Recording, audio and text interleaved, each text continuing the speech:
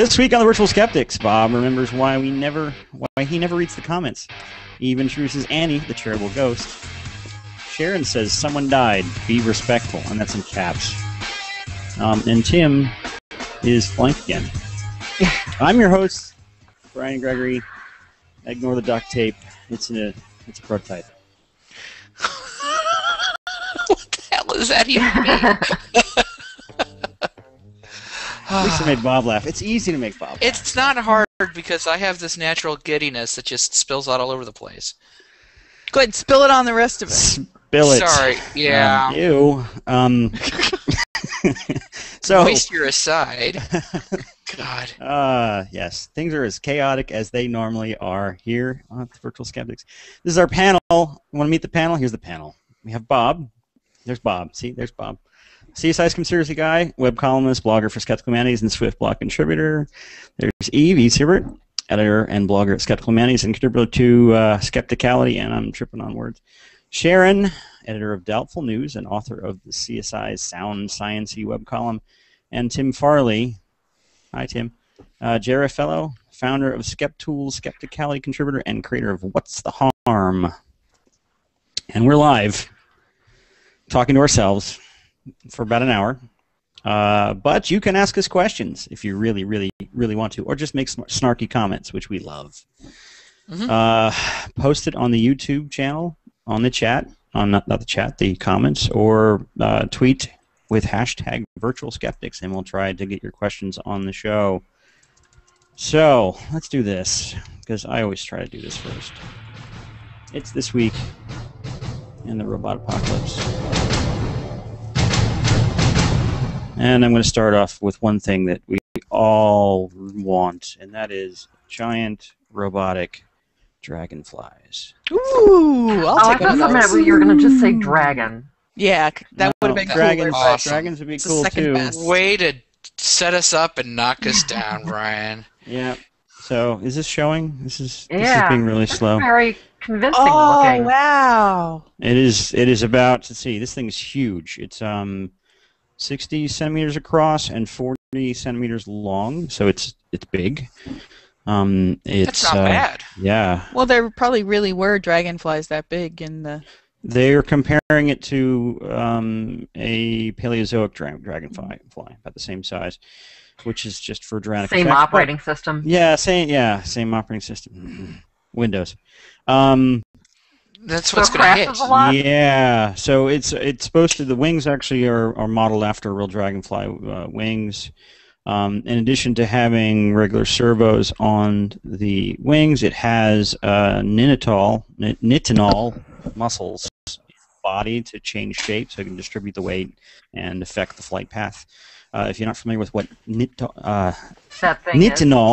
Nitinol. Yes, it's nickel titanium alloy, and it's a it's a uh, metal alloy that has shape memory. So you apply heat to it, and it changes shape based on the, the heat. It's actually pretty cool science stuff. Um, Why is it this, flying around in a prison? I Um, recognize that building. I've seen things demoed in there look like a- before. yeah. Uh, this is done by a company called Festo, and it's a one of their experimental prototypes. Unfortunately, Which you can't country? buy it. Uh, it's a German company. Mm-hmm. Um, they uh, yeah they showed off their smart bird at the 2011 TED, which is probably a video online. It, I didn't go look for it, but I want one. Unfortunately, uh, it's a expensive prototype, and I can't buy one. So I'm lamenting my army of robotic dragonflies. Okay, There's always Christmas. There's always Christmas. Next story. Um, December this year, they're going to ramp up the uh, competition for the DARPA Robotic Challenge. If you have, or the, the DARPA Robotic Challenge. Uh, this is a snap from the website. Um, these are humanoid robots that will be com- competing in tasks that are uh, modeled off of doing rescue in, in hazardous environments. Um, and there's some examples on the website here of like uh, oil spills, um, nuclear reactors, contaminated environments, those kinds of things. They're all humanoid and they're all wicked cool. The um, Boston Dynamics has something to do with this story because you know we all love Boston Dynamics. They um, built. We'll see. Okay, when you enter this contest, you can either build your own hardware or you can build a software platform to control a standard piece of hardware. Boston Dynamics built the Atlas, which is based on their Petman, which we've seen on here, um, which is this, the generic platform that you can use to enter as only a software vendor. But there's also a number of other com- competitors. Uh, NASA JPL um, is entering the Robo Simian, which is actually less than humanoid. Looks like a four. It's like a, uh, a spider, but only four legs. Um, That's a dog. no, it's not the dog. it's it's flat like a spider, and it can climb ladders. Uh, Drexel University's got their Hobo, which is uh, a Hubo. Sorry, s- mispronounced it. which w- looks a lot like the a robotic yeah, it's a hobo robot.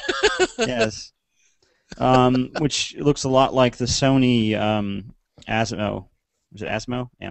Um, CMU it has the Chimp, which I, they don't actually have hardware yet, so there's no picture. Um, and there's a couple other platforms from com- uh, there's here is one from uh, Johnson Space Center, but theirs is you see they're, they're these guys are way behind their schedules. They need to get their act together if they're going to compete this year. Uh, but the idea is for, for these things to compete for a um, You're a robot snob. Yes, I am a robot snob. Uh, Two million dollar prize. Um, and it'll be awarded in December of 2014. So keep your eye up. Uh, the uh, virtual, there's a virtual um, competition that starts in June, and then the uh, the hardware and real tri- trials start in December. So all that stuff is going to be on online. Just watch for it. It's really really cool. It just occurred to me. Do you remember a couple years ago there was a, a new material that uh, you could put on your hands and it was sticky?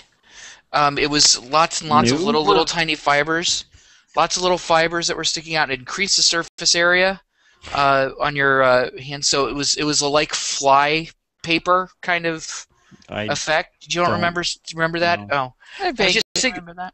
I, I think that we could like take Osimo and like turn him into a robotic Spider-Man. Tell me that wouldn't be freaking awesome. it would be I think awesome. we just won a DARPA award right there. Just for that idea. Yes. Yeah.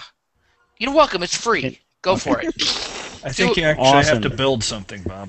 No, th- no. This is like a, this yeah. is like one of those TED talks where you just have a great idea Yeah. and just like go do it. We're a think tank. That's right. We're not So- a do tank. so so so moving on. And you guys know how much I love Kickstarter programs. There's another one I found. Um, it's been in the news lately because they're running out of time. They got 40 days to get their funding. They're Um, so close. Yeah, they're they're not very close, but it's a really cool project. It's um, let's see here. It's uh, oh crap. It's in a uh, UK university called the Harriet Watt University, um, and they have an idea of making coral repairing robots. So they use submersibles with arms, and they're going to be autonomous. They have a um, standard method of that's already used by humans to take broken coral and rebuild it with these frameworks. Um, and it takes months to years to, to do these kind of repair work. They, they say that they can get down to weeks with some automated robots. They have a plan to do it. The uh, Kickstarter is only enough funding for them to uh, to build two prototype robots and do a demonstration at a uh, aquarium. So this is a very expensive project. Not a lot of interest, but I think it's really cool. I wanted to see this happen. So hey, go out there and give some money. You can get your name on the robots themselves if, if that's something that you find sexy uh, or something like that. So there you go. We've got uh, an army of robotic dragonflies. We've got an army of rescue robots that will turn on us eventually, and then we have the we have to ocean. kickstart the robot apocalypse. Yeah. Really, that seems totally unfair. They should have used that in their, you know, to attract people. Yeah, people pay You can fund the robot oh, apocalypse. Oh yeah, don't fund Well- a Death Star. Great, yeah, that's So there. But I was just saying this. You're going to have running ro- robots on land. We're going to have dragonflies in the air.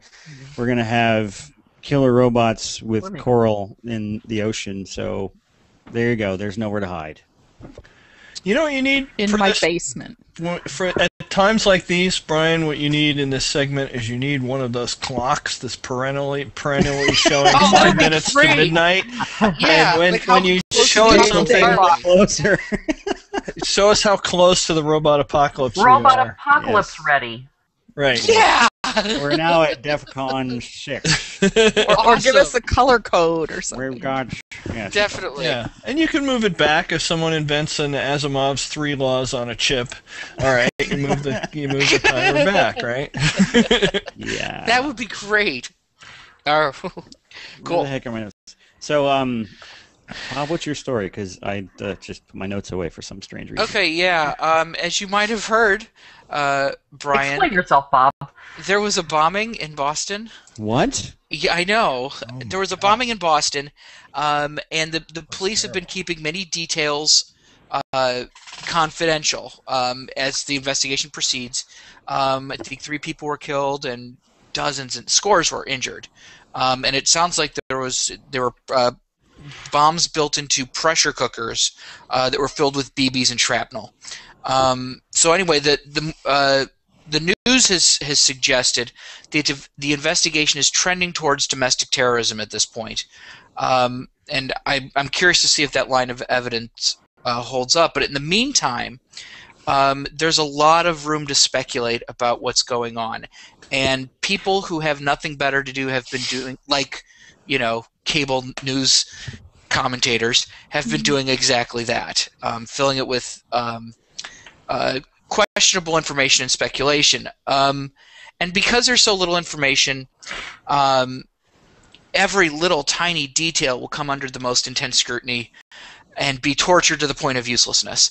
Um, I see an opportunity here because lately in the States, we've been getting very weary of mass killing. Um, it's actually becoming dispiriting. You know, um, it's it's always bad, but we just. I think the Onion had a little thing of a flag in front of the post office doesn't remember the last time as it, was at full mast Hmm. right? I mean, it's that type of like, wow, how how often does this have to happen? Um, and and with that aggravation that we're feeling, we're we're being we're becoming impatient with crummy news, bogus analysis, and speculation. In the Senate. And then there's also our elected leaders. um, and one thing that, that, that gets me, I, I find the false sense of confidence that so many people have really irksome uh, th- when they don't have information. And one group is, is finding itself increasingly despised, and that is, if you could show the first one, first slide, uh, it would be conspiracy theorists. And what we have here is a screen capture of my um, uh, TweetDeck feed of a whole bunch of people who are just saying, like, I'm sick of all this conspiracy theory stuff. This is horrible. This is awful. I haven't quite seen anything like this before. I, maybe the Sandy Hook, yeah, some, but I haven't seen people just this pissed off about it before. And um, yeah, so after Aurora and Dude. Sandy Hook, Mm hmm Sorry. Go. you just hit. You said, dude. I was reading. Sorry. Oh, no problem. So yeah, um, this is the the harbinger of the next of the of, okay. The first words are hard. I'm off script. I'm gonna hide. Okay, so I- see an op- uh, just uh. Everyone will just li- still listen. Okay, yeah, all right. So after Aurora and Sandy Hook, many of us were plunged into a parallel Twitterverse of conspiracy and paranoia. Um, and this is getting old. My first thought was actually, how are they going to spin this as a gun control related false flag? Well, false flag narratives seem to arrive almost immediately, but Alex Jones and his co- cohort of sycophants and imbeciles spun it in a surprising way. Um, as a way of expanding the authority of the TSA into the streets. Now, this is very odd. If you take the go to the TSA website, there, the Transportation Security Administration, and you see what their mandate is. It's to protect the nation's transportation systems to ensure freedom of movement, movement for people and commerce. This means airport screening, baggage checking, bomb sniffing dogs, and that sort of thing. They're not trained to execute martial law or patrol the streets. You asshat, Alex. That's what they want you to think, Bob. yeah. Yeah. Um, and so the idea It's is their it- false mission. exactly this is what they're really up to, and, and the idea is an absurd. It's as absurd as Alex Jones is loud, and absurd. Um, so the first seed of this conspiracy theory came very, very shortly, uh, or the first seed of a conspiracy theory came very, very shortly after the bomb uh, went off, just before 3 p.m. Within an hour and a half, I don't quite remember what time zone. I saw M- Mobile is- within a half an hour. Yeah, I mean, it, it, it could have been. I said within an hour and a half because it could have been a half an hour. Yeah, Um, a news out. anyway. Yeah, a news outlet in Mobile um, mentioned that a college cross country coach, Ally Stevenson, if you could show the next one, was participating in the marathon and commented that there were bomb sniffing dogs on site before the explosion. In this, this is a quote. They kept making announcements to the participants. Do not worry, it's just a training exercise. Which I imagine it would be if nothing happened. It would just be a day out with the dogs training them. But um, so Stevenson, he saw law enforcement spotters on the roofs at the start of the race. Um, he's been in plenty of marathons in Chicago, D.C., and other metropolitan areas, but has never seen that level of, of security before. Quote, evidently, I don't believe they were having a training exercise. I think they must have had some sort of threat or suspicion called in. CNN reports that a, a state government official said there was there were no credible threats before the race. Okay, so a major problem with this testimony is that he has never before been in a race that exploded. Um, it seems natural that the salient measures of security um, are now receiving his attention after the Boston Marathon, um, when they haven't received his attention before. Um, they now suddenly become really important. Um, we live in a post 9 11 world. There's security at all major events. Um, the presence of bomb dogs is not surprising. The, the other thing that gets me about this one is uh, the police spotters who are on the roofs. Um, how does he know that they were police spotters? Um, a, a, one person was walking on a roof near the explosion, which actually received a lot of attention on the internet. And here's a picture of him. And he, and he's, yeah. All right, so there, there he is. What, what? You don't see him? What? But okay. Here's, here's a close up of this sinister character. I know, dum dum dum. It's undeniably It's a person. It's it's, It's a ghost. undeniably a person. Of Basi- Bigfoot. How dare he walk on a roof with a railing nearby? I know, treacherous bastard. So as I And a understand, halo. And a halo, apparently, yeah. That's the kind dead of- giveaway when there's a halo around the guy. Um, so if, uh, I understand that as uh, much of the crime scene needs to be documented, and but that this guy was being circulated on Twitter some kind of befuddles me. There's nothing peculiar about someone being on the roofs along the Boston Marathon route. Um, in fact, at the finish line, it's common, and the police have been enforcing a ban on on uh, people being up on their roofs uh, because a couple years ago someone fell through a skylight. Um, Yep. So I saw that But- commercial. yeah. Nonetheless, the police are investigating and looking for a person of interest. Please call the FBI if you see this man.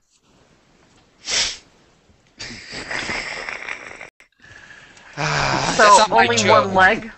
Again with the Bigfoot. Yeah. Um, so yeah, it's actually if you go back and forth, it actually works surprisingly well. Yeah, yeah. it Yeah. Yeah. Uh, that Yeah. except Bigfoot is is a female. I know that, Eve. All right, just checking. That could be a female. No, no, the internet clearly says man on roof. Oh. Ah. All right. So, Ah. um, and actually, uh, Tim gave us a little bit of an update that someone it was where was it? Tim It's a smoking gun. They That went smoke- and looked up what building that is. and what's on top of the building? It is a condo building, and there's a shared uh, patio on the roof with uh, with Patio, plants patty. and patio furniture and a railing. And it would be not unusual at all for the owners of those condos to be on that patio watching the race from up there. It's it's it's beautiful how easy that is to check ultimately. So, Yeah.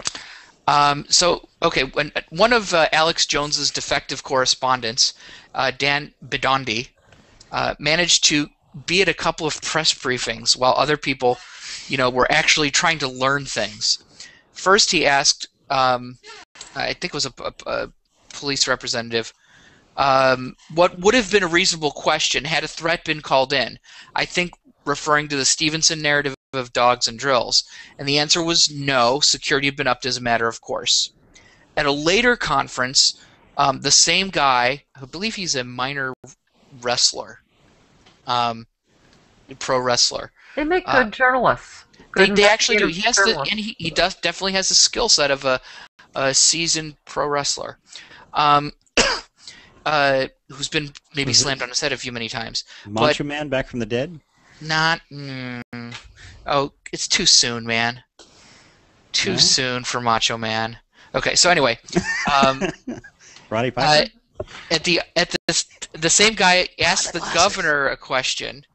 Um, if it was a false flag operation to take away our civil liberties and let the TSA slip their hands down our pants, and the, and the gov- governor said, "Yeah, oh no, no."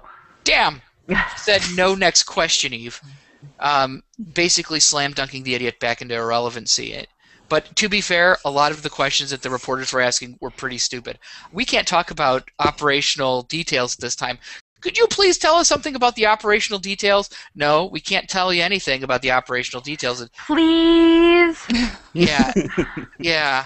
Um, so okay, now there are a couple of trends that are being rehashed from Sandy Hook conspiracy theories. Um, the idea of crisis actors, which kind of became prominent in the last one, which are, are who are supposed to be actors paid to act out drama. So in this case, um, uh, this is a disturbing image coming up. Um, so go ahead. Um, yep, it's there. yeah, uh, which comes from uh, uh, Peter Tierney's collection of Facebook shots. Um, crisis actors um, are they're they're a, a new facet of something that's very familiar in the conspiracy world. What Michael Barkun calls fact fiction reversals. Conspiracy theorists see fiction as more real than reality, and in a way that allows them to take things like the April Fool's documentary um, about the elite secretly absconding to Mars, Alternative 3, um, as factual or to think that aliens are putting storylines into the head of Star Trek writers to prepare us for the coming robot invasion or ro- robot alien, whatever. Alien robot invasion, I'm sure that would happen too. Ooh. But at, but at the same time, they think that the news is being acted out. And that's a really weird, you know, It world that they live in.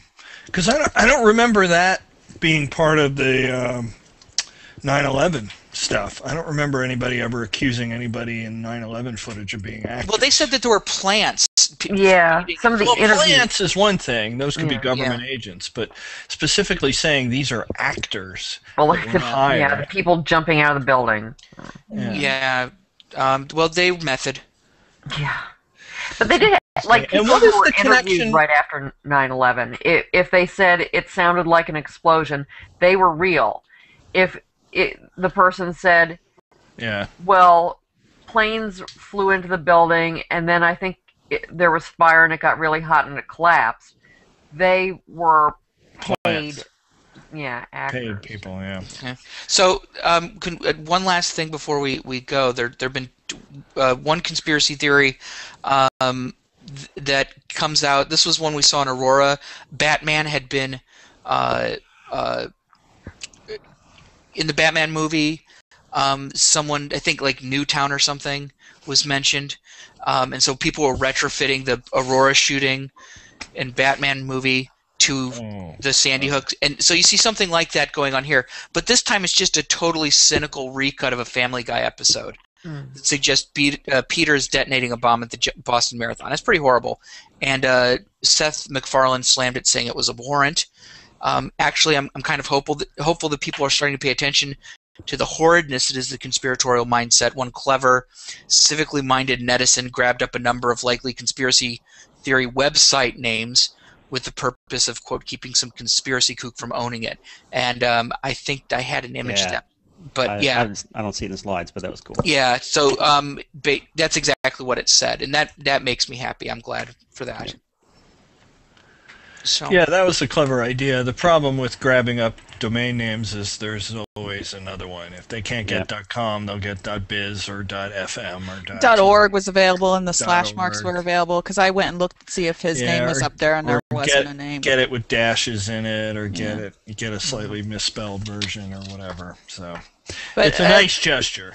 What was Yeah. nice, Bob, is is um, just one quick comment on this was, I had put up my post before uh, I had read yours, and I noticed that people were suddenly extremely disgusted with conspiracy theories.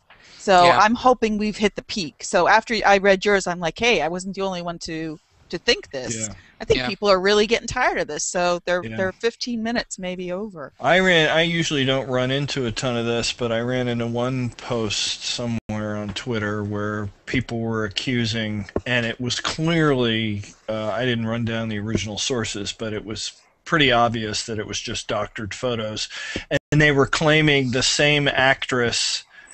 It's the same actress who was supposedly playing the principal s- who died in the that. Newtown thing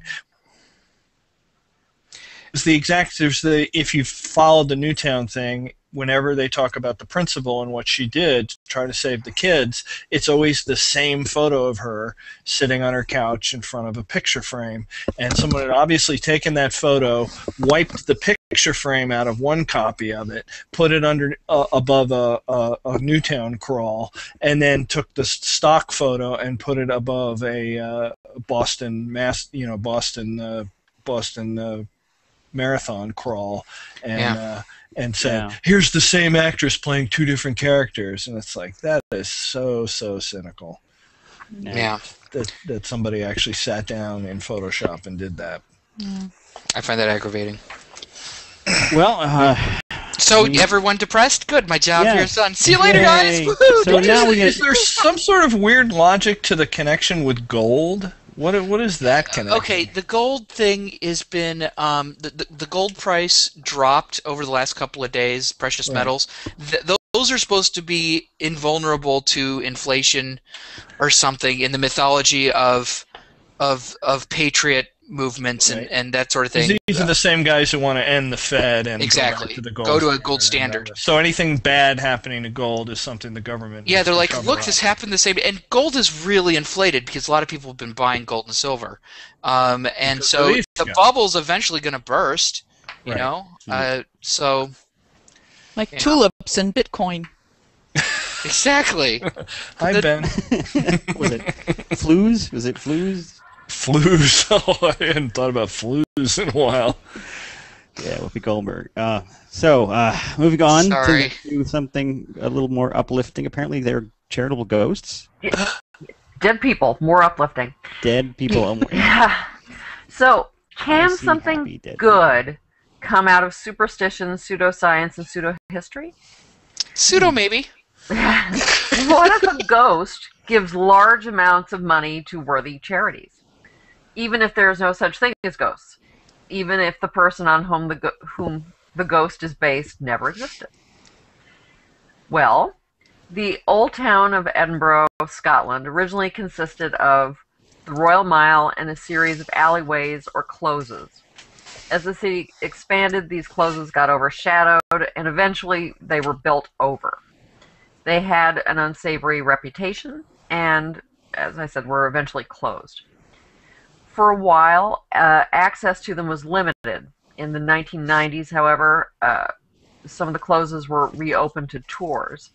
And in 2003, the real Mary King's Close, of which there is a slide, um, opened as a tourist attraction. According to an article on the Scotsman from 2003, when the Continuum group opened the close for tours, their mission was to set the record straight and separate fact from fiction. For the first time, visitors will learn the real learn of the real people who lived in the close, their living conditions and trades. Sounds good. Dr. Lorna Ewan explained that they wanted to correct certain legends that surrounded the close. According to one legend, plague victims were walled up in the close and left to die. This isn't actually true at all. Instead, the area was quarantined, and the council handed out, according to Dr. Ewan, handed out rations of food to people, and uh, two plague doctors were appointed. People were supplied with bread and ale. Um, if a plague death occurred, the body was removed for burial, and the family was quarantined in another area.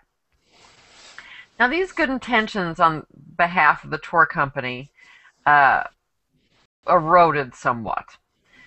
Ghosts, unfortunately, sell better than, you know, history. In 2007, uh, in a 2007 conference paper, Carrie Clanton describes the tours of Mary King's Close. Quote, the guide dramatically relates how in 1645, a year when nearly a third of Edinburgh's population died of the plague, the city government quarantined all the city's plague victims into the close, where they were locked in, left to rot and die, their screams echoing through the city. According to the guide on my August uh, of 2003 tour, as the corpses of plague vic- victims began to rot, the smell of decay filled the streets of Edinburgh, and according to my guide's account, two butchers were sent in to clean up the mess. Unquote.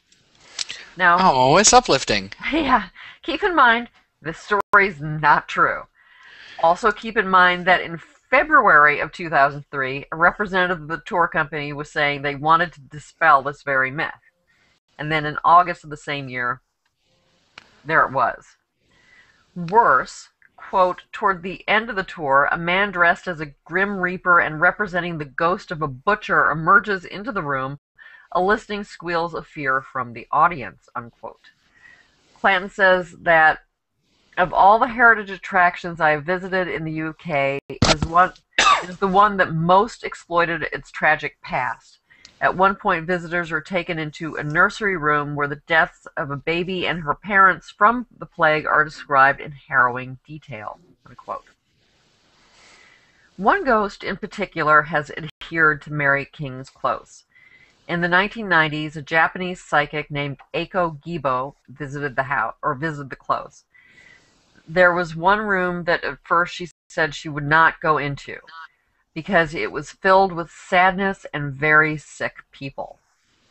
Eventually, she did agree to enter because a little girl ghost named Annie was tugging at her and asked her to come in.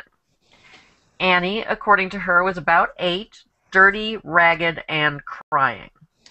Annie said she had the sickness, meaning the plague, and was taken away from her family. I didn't even have time to bring a doll with me, said Annie. The psychic, yeah, the psychic had her cameraman acquire a doll. She said that the doll would give the little girl rest and she would never be seen again. Well, of course, she was seen again. Also, it appears that the story of a little girl who was walled up during the plague goes back before Gibo's visit. However, it really got legs uh, after her appearance. Since the close was more generally open to the public in the early 2000s, it has received visits from Ghost Hunters International and Most Haunted. Although Annie apparently got a little bit confused uh, when communicating with Derek Acorah and identified herself as Mary. But you know Whoops. what the afterlife can do to you, you just forget your name and shit. Um, That couldn't possibly be Derek's fault. No. No. way. He's just too good at what he could have does. confused Annie with Mary King of the real Mary King's Close. Yeah, there you Must go. have been the yeah. little girl ghost who was confused. Uh, the room where the non-exact, non-existent Annie wasn't walled up has become a sort of a creepy shrine. Gibo's gift of a doll was the first of many. People, and uh, there's a picture of uh, the offerings. So there, people bring Ooh, dolls. Uh, people also leave CDs of boy bands. Uh, Justin Bieber really should visit because I'm sure if Annie were alive today and like if she'd ever been alive at all, I'm sure she'd totally be a believer. It's in the box in the front. Oh, should be, I love should that. be yet another historical personage named Anne Annie, who would yeah. be a believer. But in this case, not historical. But visitors don't just leave creepy gifts. They also leave donations to the Sick Kids Hospital, or more formally, the Royal Hospital for Sick Children. Lots of donations. The Real Mary King's Close has raised £40,000 since it opened in 2003. Indeed, it has recently been nominated for the Sick Kids Heroes Award, which recognizes exceptional contributions made by staff and supporters and the courage of patients. So, how do we view this? Is it harmless good fun? Uh, and hey, money for sick kids? Uh, the BS historian asked the question this way, which I, I sort of like. But do these ends justify the means? Does misrepresenting facts of history and of science justify the money it brings in? Are we content to prostitute unique pieces of built and cultural heritage in order to keep them going? I suspect the answer is yes, but we don't all have to like it, and we should try for better. Hmm. Fair enough. Yeah, no right Yeah. answer to that one, maybe. Yeah. So, um, hmm. Hmm. do you have to wear a, a pilgrim's hat or whatever she's wearing? Are, the guides apparently dress as a historical personage from, or at least theoretically, historical personage from a particular time period. I think different guides dress up from different time periods. Ah. Hmm. Okay. Has anybody got the uh, my- my uh, comment feed seems to not be updating. Is anybody else looking at that? I think we just lost everyone. Uh, No. no, I've, I've, I've got the comments. Any questions? I don't see any questions about the ghost story. Well, um, we can move on to other death-related stories. Yeah, this Yay! these aren't so going to be any better. Yeah. These- this- This weekend. Death and destruction. And robots. yeah. it's a comedy. Yeah. So I, I found a story in a UK paper. We're back to the UK. It really bothered me. This mother was, quote, begging paranormal investigators to stop speculating about whether spontaneous human combustion was to blame for the death of her daughter back in eight, 1985. A recent book called Paranormal Merseyside was one of a string of publications and articles that offered up the idea that the girl died from spontaneous combustion. And but she was at a college cooking facility at the time, and the media's portrayal of this event as some mystery has been clearly disturbing to the family. There was never any suggestion that her death was mixed, there was anything more than an accident that she accidentally caught on fire. But as with other cases of uh, SHC, the idea of mystery is enticing and it makes the story more dramatic and interesting. So it was also incorrect and inconsistent with the evidence, but that didn't matter. So they ended up putting it in books and, and publications and stuff like that. So you can imagine how, how awful that must be for the mother to see these reenactments and accurately depicting her daughter's tragic death. It's just, it's a horrible thing. And Why do you uh, want to stifle free expression? Oh, Sharon? there you go again, Bob. Always giving me shit. Sorry. So, but uh, it, that's these the people go around telling these paranormal stories. They write them in their books. They sell their books. They sell their copy, whatever. But real people died in these events, and it seems really callous to exploit them like that. But it, it happens a lot in these paranormal cases, especially like for paranormal tourism cases where a location is supposedly haunted and is connected to a, a family or an employee or someone connected to the place who actually existed. So now there's a story being told about them in which there's rarely any supporting evidence. Uh, they can't defend themselves. And they can't say it's not my spirit doing it. And the family that remains may not appreciate the mention. And so I recalled some other cases that I covered on Doubtful News that was that were similar to this, and I linked them in the, in the show notes. But I'll just go through a couple of them quick. In September, the brother of a murder victim was quote offended and angered by claims that a group of paranormal investigators used a ghost box to search for the victim's missing remains. They claim they found an implement, a spade handle, that belonged to the killer. The police said spades are found everywhere around the moor. The this is of no value to us. but they made the paranormal investigators had made the claim that it was connected to the case, and this showed up in a local newspaper. And the brother of the murdered man made a statement in response to it, how appalled he was. Last summer, a paranormal group was featured as part of a local news story in a similar case where they invent, investigated a restaurant and declared there was paranormal activity connected to a real person who was associated with the place. And the great grandson of that man, who had died in the 1960s, wrote to the paper disputing that there was nothing paranormal about the death or anything afterwards, and he did not appreciate the degradation of the family name. And there was a cemetery in Colorado that was allowed to give ghost tours at night among the graves, even after they were exposed as allowing tour guests to urinate on the premises and other rather rude behavior. I don't know why a cemetery would allow tours like this anyway. That's disrespectful to all the families of the loved ones there, even though after they were exposed, they were allowed to go back and start start charging for these ghost tours. Probably, possibly, to keep the cemetery solvent, you know. And finally, good old Zak Bagans of Ghost Adventures TV, who was happy to publicize the story that he captured EVPs from a hotel room where an actor had committed suicide. That's right. He attempted communication with the spirits as he was interacting with that particular person, and the subsequent recordings were slated for inclusion on his music album. I don't think he asked the permission of the family for that either, and I don't know that they would appreciate that. Yeah. So in any of the cases, there was uh, there was no indication that the family was ever consulted before they were exploit their deceased relatives were exploited. I I kind of wonder what the what the background loop would sound like if if a ghost was interacting with Zak Bagans. It just said like hi, ba- hi Zach, Zach. hi Zach. Zach, you douche. You Hmm. smell like I- body spray. Um, I think the most frightening aspect of this is Zak Bagans is doing a musical. Yes, Yeah, that's his thing. I forget what it was called. It had a really stupid name, but and I don't think anybody had bought it, but except he has fans. you know. He does. He's a mom.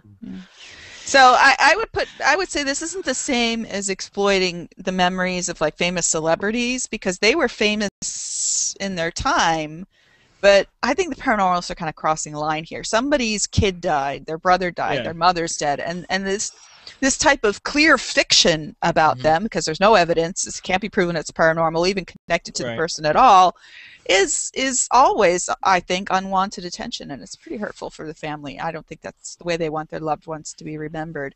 And I think this is one of the unnoticed or un not not it's not brought up in attention very often that uh, it's a real effect of this paranormal stuff going on that these people are be are identifying these spirits as, as you know it's it's extremely disrespectful. Well, there was a case a couple of years ago where the ghost hunters went into a house, and this is the first time that I'd seen them like looking for someone that the people actually knew who had died, and uh, the, the the the owners knew of had died.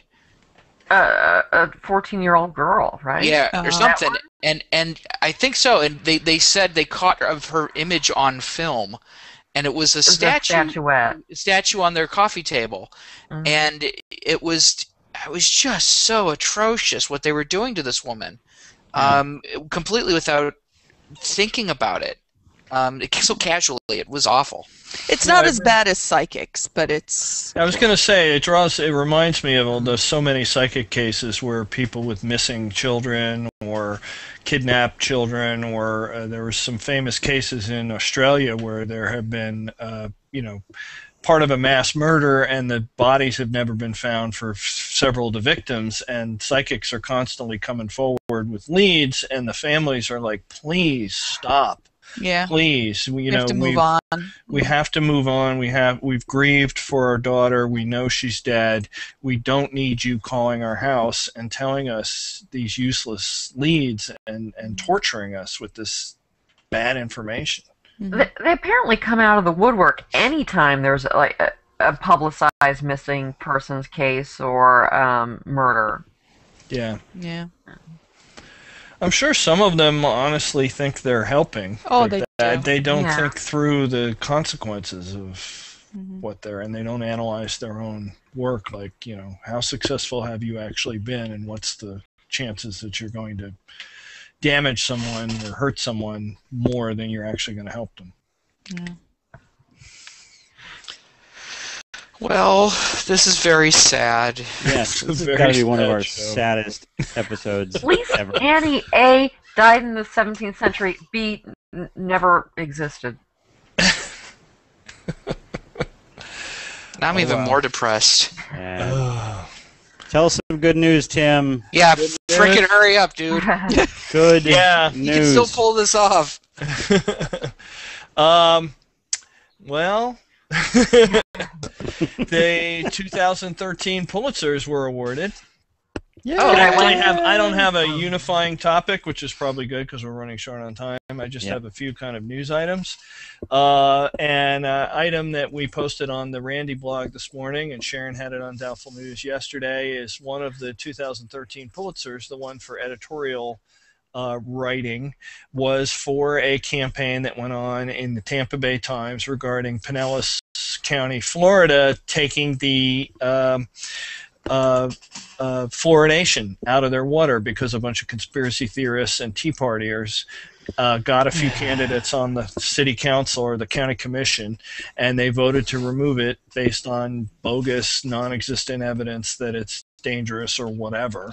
I saw it in a documentary. Oh no, wait, that was Doctor Strangelove.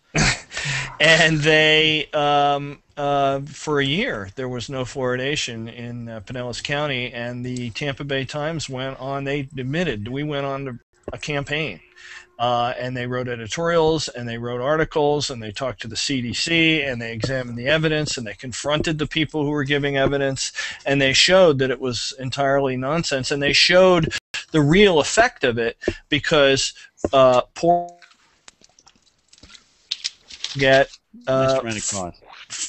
Uh, poor people can't get uh, fluoride from their dentist and stuff to replace the fluoride that's in the water. We're being affected, unfairly affected by this. Disproportionately, yeah. Yeah. Uh, so, uh, a good example of social good that's done by skepticism on a topic that maybe some people might find uh, old hat anti-fluoridation. But anyway, they their campaign was successful in the 2012 November election. Two of those commissioners were defeated and replaced with pro-fluoridation commissioners. And within a couple of weeks, they voted to reverse the decision. And as of March this year, it takes some time to put these things in effect. Uh, fluoridation is back in Pinellas County, Florida, and now the newspaper has a Pulitzer to show for it. Good job. It was a Yay. classic skeptic campaign being done by the news media, and uh, and we pointed out that the other thing I like about it is this is the same paper that historically has won Pulitzers before for investigating uh, Scientology, and also is the paper that came up with PolitiFact.com. And if you follow politicians saying goofy crap in the U.S., uh, PolitiFact is a great resource because they'll tell you uh, w- which things are true and which things aren't. And they have this hilarious little gauge that includes the far off the setting, which is called pants on fire. yeah. if uh, someone is just totally off the ranch, uh, they will actually give them a pants on fire with the gauges on fire and the needles buried in the Yeah. thing. So this is mainstream media. Pay attention. There are Pulitzers in skepticism. Yep. And uh, I was trying to think. Oh, last week we had our podcast challenge. Uh, Oh yeah. of which podcast the week before, now two weeks ago, there was a podcast that did an entire episode that was made up of fake news stories. Did anybody? Well, I know our panelists know. I'm looking to see if any of our commenters Someone did get it uh, actually figured it out. Yeah, a Yes. couple did. Somebody somebody commented that they had just listened to it, and Sharon, I think you had just listened to it. Yeah. Um, uh, I guess I, you know, can't drag this on any further. And actually, the the reveal episode of their own will post tomorrow morning because they post their episodes on Thursday. And if you know your podcasts really well, and you know that uh, a bi-weekly podcast that posts on Thursday uh, would tell you that it's Skeptics with a K. Yep. So listen to the Skeptics with a K episode tomorrow, and I have been promised that they will reveal every single lie that they told That's in awesome. the previous episode. And uh, I don't know if they're going to also reveal who called them on it or anything like that. I think both episodes were pre-recorded because they were so busy with QED. Uh, one came right before QED, and this one's after QED. So, um, and that's uh, about it that I've got time for talking. Oh, uh, just kind of a warning. I tweeted about this on Saturday, but it seems to have been affecting people because I know Uh oh. blog, and Derek Derek is having trouble with his blog. If you run a WordPress blog, Oh Yeah. we had trouble too. Be very careful with your admin passwords. Either you can actually, if you Google it, there's a way to disable the admin account if you don't need it. Uh, but also make sure you have a strong password on the admin account because there is a widespread thing going on right now where hackers are basically trying to break into every WordPress blog.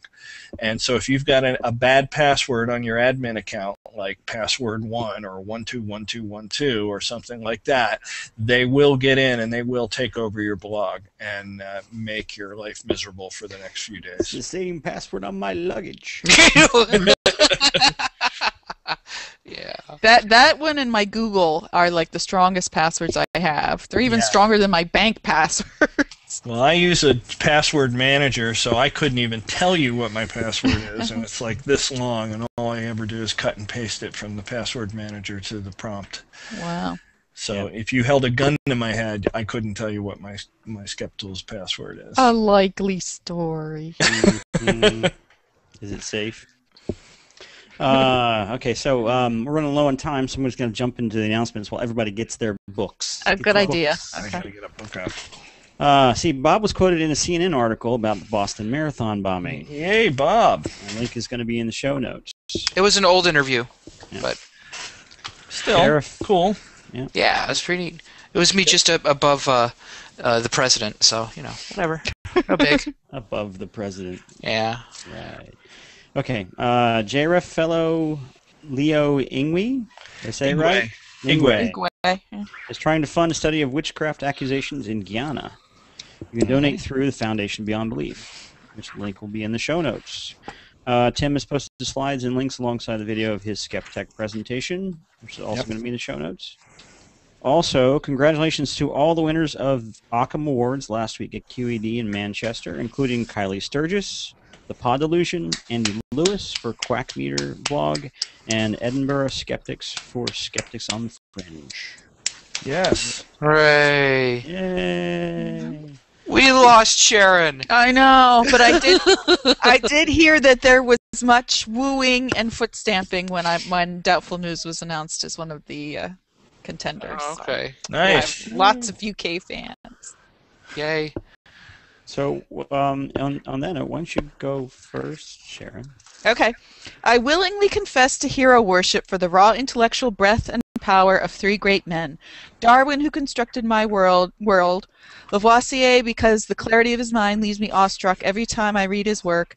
And Karl Ernst von Baer, who lived too long and became too isolated to win the proper, proper plaudits of posterity. Whoa. But T.H. Huxley, who ranks fourth on my personal list, regarded von Baer as the greatest pre Darwinist naturalist of Europe, and I doubt that any expert with the detailed knowledge to render judgment about general brilliance and specific accomplishments would disagree. You might be able to get it by proper plaudits of posterity, because nobody writes like that. and I'm going to Um, skip around. I'm going to let you go next. okay. I was going to say a whole bunch of uh, medieval poets too, but Ooh, Mm. burn I think Sharon. it's, I think it's William Langland. But the monstrous races provided challenging problems for Christian thinkers.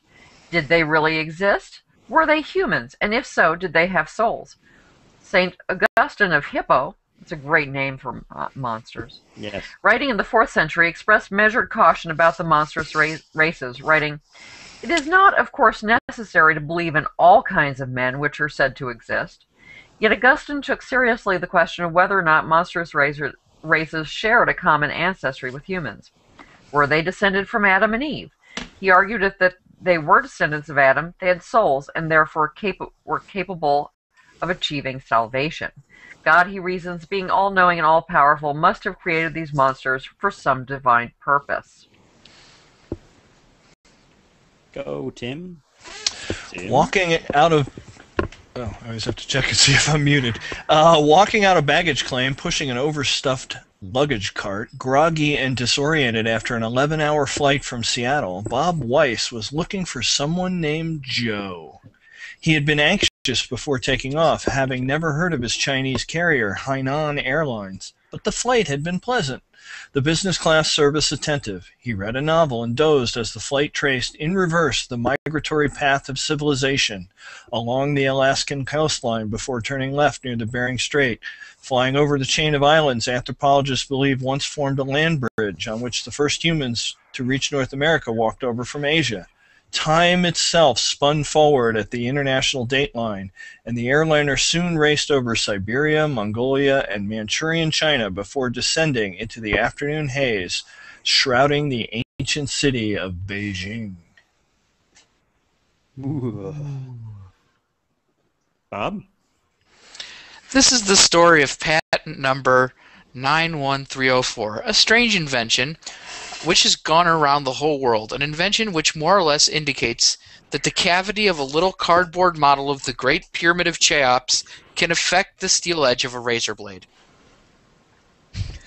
I have actually heard that before. Is it my turn? I guess it's my turn. Amethyst was worn by the first Christians and later bishops. It is the stone of Saint Valentine and of, of faithful lovers. Because Saint Valentine is believed to have worn an amethyst ring engraved with an image of Cupid. Wear as an engagement or eternity ring for fidelity, or as a locket to call back lost love. However, it was once believed that a person could call any love by speaking his or her name in an amethyst, even if that person was committed to another. An unpolished amethyst in the bedroom guards against nightmares and insomnia. Not where I thought it was going, did you? Yeah. Um, rub anti-clockwise in the center of the forehead, just yeah, above you had me at and rub too. I between, thought- yeah. Rub between the eyes, the seat of the third eye, especially effective for children's night tremors or fears of the dark. It helps to protect against homesickness and enhances Reiki treatments. Placed in the center of the brow, it aids meditation and visualization. Keep unpolished amethyst near other crystals to recharge them. Must you read straight from a chemistry textbook?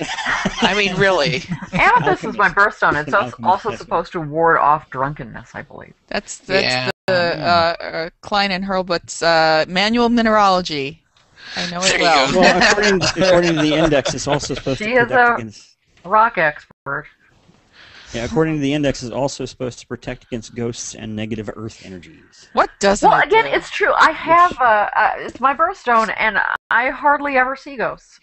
Granted, I hardly ever wear amethyst. There you go. Yeah. So it do repels reveal. Yetis, too. hmm Ooh, how much? How much? Oh. Okay, uh, I have landed the end of the beginning in Natural History Steve J. Gould, which I haven't read yet. It's on my list. Eve. Monsters and Grotesques in Medieval Manuscripts by Alex Bovey. Ooh, cool. Pretty pictures. Man with a mm. head beneath his shoulders. Yeah. Wow. Tim. I don't know if you can see this, but it's called Brave Dragons. A Chinese basketball team, an American coach, and two cultures clashing by Jim Yardley. It's got no skeptic connection at all, but I happen to know some of the people who figure in this story. Uh, it's about the first NBA coach who ever uh, uh, coached a team in China, Bob Weiss. And again, someone's trying to trick me into thinking there were dragons. No, there's a team called the Dragons. Yeah, Yep. See. It was a dragonfly, not a dragon. So no actual dragons were harmed in the making of this episode. No, Go ahead, Bob. not. This, uh, I, you, you'll never guess. Max Toth and Greg Nielsen's number one bestseller, Pyramid Power. Ooh. I remember that stuff. Yeah. Yep. Well, mine is the Complete Crystal Handbook, handbook uh, by Cassandra Easton, Eason? Eason. Uh, someone I'd never heard of, but I found it in a store locally here and just had to have it. Really? It's Um, just too much. that re- that reminds me of a Scooby Doo episode when when Velma finds the Crystal Amacy book. And Shaggy goes, Crystal Amacy? I went to school with the Crystal Crystal Amacy." Amacy. was looking to see when the copyright is. It's act- actually it's 2010, so it's recent. Oh, so Like this is like any of this cutting is edge stuff. stuff. Yeah, that's Cutting great. It's It's the That- same that- knowledge that hasn't 21st century crystals. ever- Yeah. Uh, we got one more minute. We got any questions? Any snarky comments worth mentioning? Uh, no, an old friend is in the comments, and that's I all see. I'm gonna say. Yeah. Oh boy. He's uh, doing court tomorrow, so he's Ah. probably in a bad mood. Hmm. Good luck with Well, that. on on on that note, it's time to dance. Let me get my notes. I'll start this. Dun, dun. The Virtual Skeptics is an independent production of Doubtful News, What's the Harm.net, Skeptic Humanities, and me. Cool poster. Our logo is designed by Sarah Mayu at sarahmayu.com. Our theme song is by Tremor and used I don't. I don't have a spinny chair. I do, but I I'm agree. not